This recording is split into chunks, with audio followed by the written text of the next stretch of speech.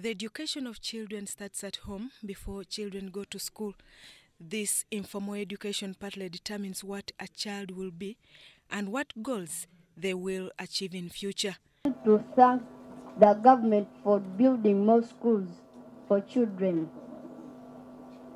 During their interaction with the FDC chairman, Dr. Kiiza Besigye, many children narrated touching experiences, with some unconditionally shedding tears.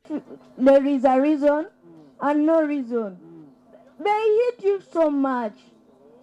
So I hate hitting a child. And I will not hit my children. Uh, on the go- on the bad side is the school fees is too high. They increase every year, Yeah. which Yeah, my it's parent cannot afford. Afford, yeah. Yes. One touching experience is a little boy of 12 years who scored 12 aggregates after a seven years hustle, who called on well wishers to come to his rescue. I passed And went to primary P5? five, Yes. primary six, Uh huh. and primary seven. Yes.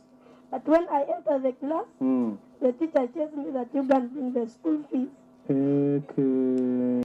Mercy and glory of God. Mm. I got 12 aggregate. Oh, wow. That's very good. And while I'm kneeling down, Mm. if there is somebody who can help me, Mm. please help me. Because I have not even got a school to go in second. While mentoring children at his home in Kasangati, Dr. Kiza Besigye expressed dismay on how children are being tortured psychologically. The reason we talk to young people is so that we can develop a new citizen uh, who is empowered. We want to build a positive future, and that's why we engage with the children, show them the country that we want, and aspire, encourage them, inspire them to work. Besije has called on parents to be supportive of their children at all times so as to help them build and achieve their goals.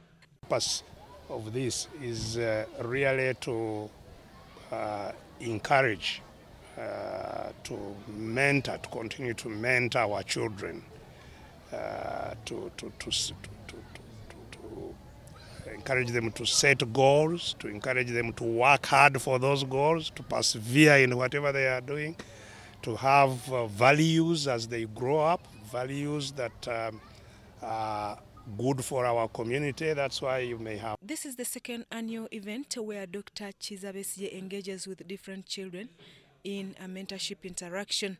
The function was attended by the Lord Mayor Elias Lukwago and Kawempe MP Mubaraka Mnyagwa. Susan Naonga and Gloria Gwitabinji reporting.